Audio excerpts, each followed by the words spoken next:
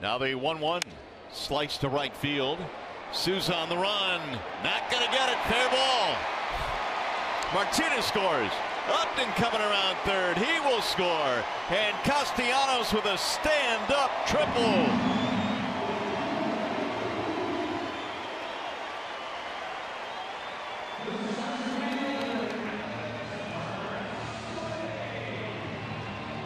They're not letting up.